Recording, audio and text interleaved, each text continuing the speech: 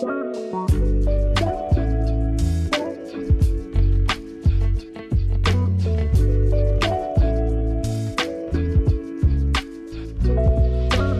welcome. Uh, what the Welcome back. This is Slight Adrift. My name is Tymon, and in this video, I'm going to install uh, this kids washing machine. It's a kids washing machine because it's basically just big enough to wash one pair of kids socks. it's like a small one. I think it's about a three kilo or 3.5 kilo. I got it from everyone's favorite discount store, China. 90% of Kate's head shakes at me are because of this, because I got it uh, about a year ago when I thought I was gonna install it and I didn't. And for a year, it's been sitting in the quarter berth, just rolling around. So I just tested it. It actually still works. Tested it as in plugged it in. I wanna install it right there which is a shame because this is my little go-to intro and outro video area. Yeah, I want to put it right there. It's a little bit above the water line um, and so the water can naturally just drain out without having it having to pump it sort of uphill, if you will.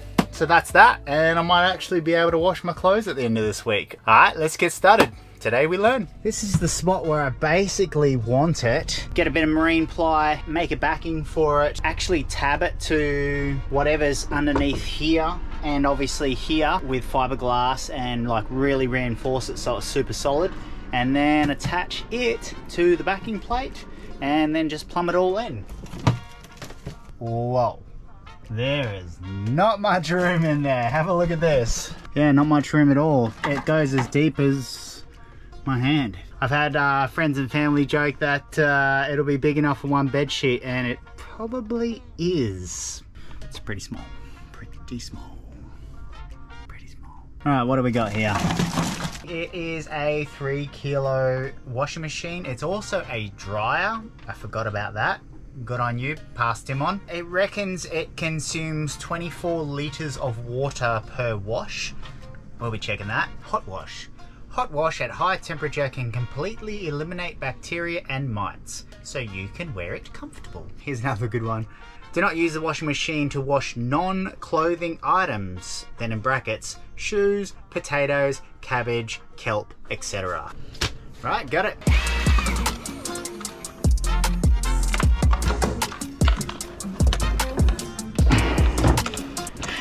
Don't like looking behind things there's usually problems hiding behind there. Here's a fun little fact. Written on there is reveal fins for bifolding windows.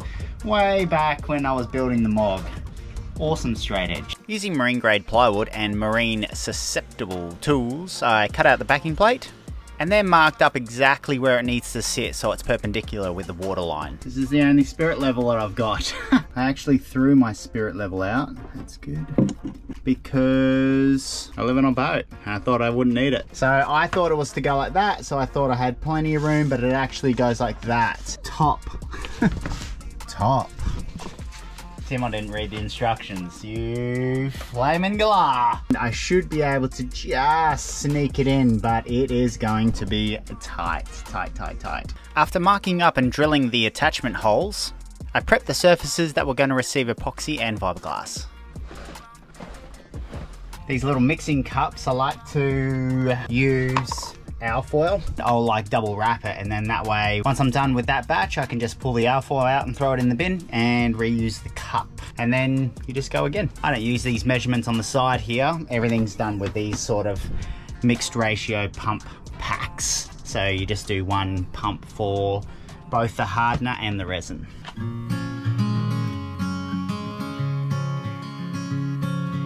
Just remember when fiberglassing onto plywood, the plywood naturally absorbs some of the resin, so you need to apply a couple of coats or as many coats as you need until the plywood stops absorbing and is fully saturated. And at that point, you can start the fiberglass over the top. Otherwise, it's not going to adhere properly. Using thickened epoxy, I applied a nice curved fillet to the hard edges. That way, the fiberglass has a nice curved edge to adhere to. I used four sheets of 400 gram double bias. I think that will be plenty on both the top and the bottom. At this point I had a couple of days to kill while also that dried nice and hard. So to be productive I took this time to make some shelves and install some fans up in the V-berth. Mm,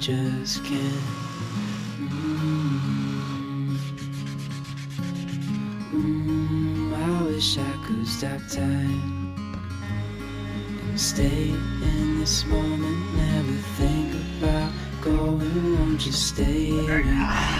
Okay, welcome to the V-berth and my bed. So the current setup in here is one light for either side we never ever use these because they are the wrong color temperature. They are way too bright. They just don't make a nice environment inside here.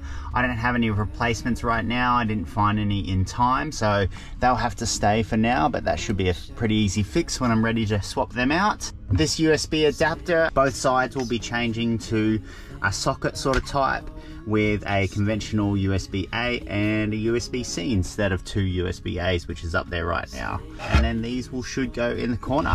I have also got two of these Sirocco 2 12 or 24 volt fans. They don't use much power.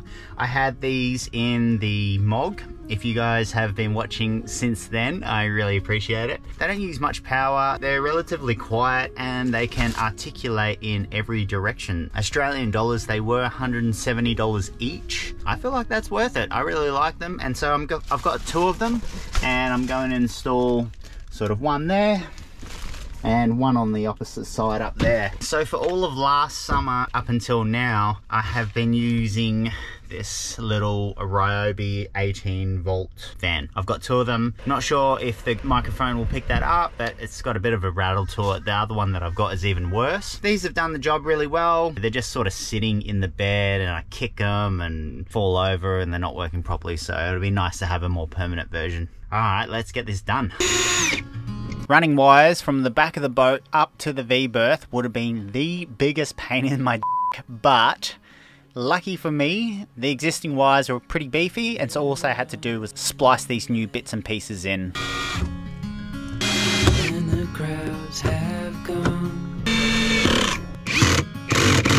And voila!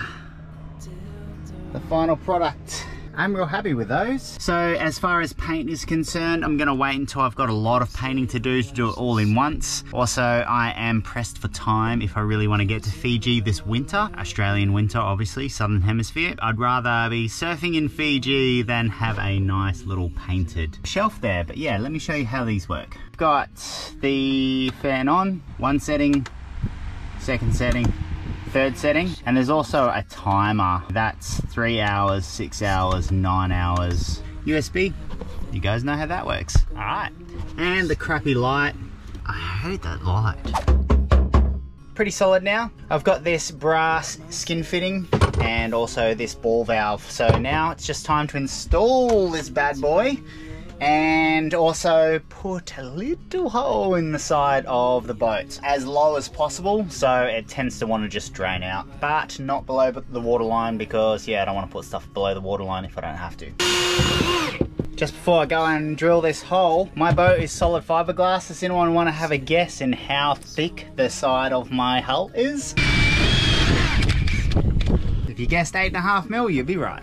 Here's a hot tip that I just found out that I didn't know. Acetone is heavier than air. So if it's not stored properly, just like LPG or gas, it can sink into the bottom of your bilge and you can get some pretty spectacular fireworks. Yeah, big bada boom. Bada boom.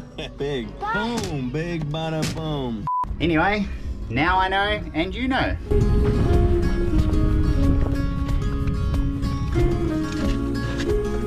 Now that I've got the ball valve fitted on, I've loosened the nut way off. Got a good amount of gap in there that I can push this in and out.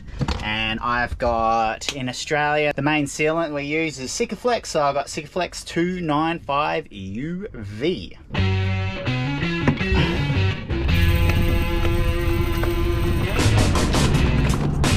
There is a very, very messy Sikaflex job. And all of this space here is eventually going to get filled in. Like the toolbox lives up here, but it's got to be strapped down every time we sail. And yeah, this space just isn't very usable. So I'm not too fussed with being able to see that right now because yeah, in the future, this all will be done. Alarm.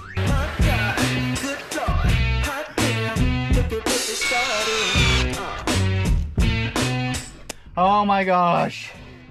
This bloody better be worth it. I'll never cease to be amazed at how difficult the most simplest of tasks are on a boat.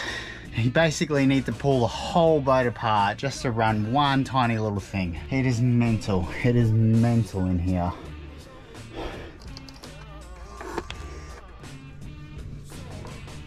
Looks so good. And all up there, clearly labelled. Loving it. Oh my god, that was it. That was so difficult.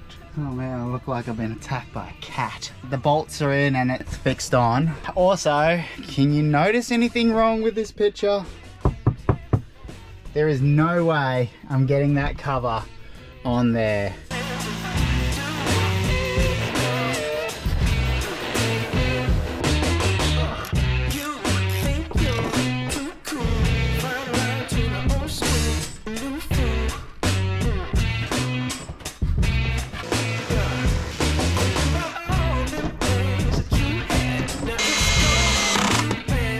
So during the process I did cut off the down pipe that was for the old diesel inlet. Rather than removing the whole thing and then fiberglassing in on the deck, I'll do that at, at a later stage. And that's why there's this gross little patch there. But painting is a pretty low priority right now, so that's gonna have to wait. Okay, the final piece of the puzzle has finally arrived. I needed one of these. It's a half inch female end to a John Guest fitting because I didn't have enough room in between the outlet of this and the inside of the hull. Why is it that when you need something so urgently and you get it express posted from an hour and a half away, they send it for a couple of laps of Australia. But uh, anyway, I've got it now. Install this, fill up the water again so my water is full. Take this for a test run and then once it's finished, fill up the water again and measure how much I'm filling up to take sort of a crude estimate of how much this is using. Okay, the moment of truth. 1.64 kilograms of stuff. One sock. I mean, I'd put two in there, but only one's gonna come out anyway, right? Imagine I'll hear the, uh, the water pump. Maybe it's one of those ones that don't, doesn't use water. Hey! Clean clothes. Rightio, how much water did it use?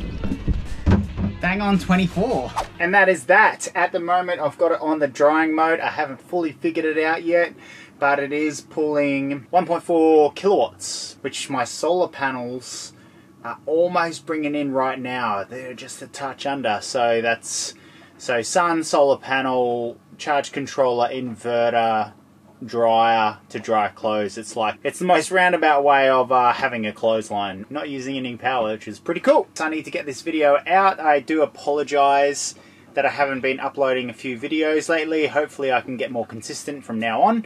Um, a special thanks to my Patreons. You guys rock. In the future I'll give you an update in how this is going, but so far so far so good, hey. It is a bit small, but that's what it's supposed to be because I'm on a pretty small boat. So, so that's exciting. I now I do not need to go to the laundromat. I can wash my clothes in a bucket, but I don't really do that unless I need to. One step closer to being fully off grid. The water maker. I've got all the bits, but it's just lower on my priority list right now. But it will be coming up pretty shortly. Thanks for watching. Okay, bye.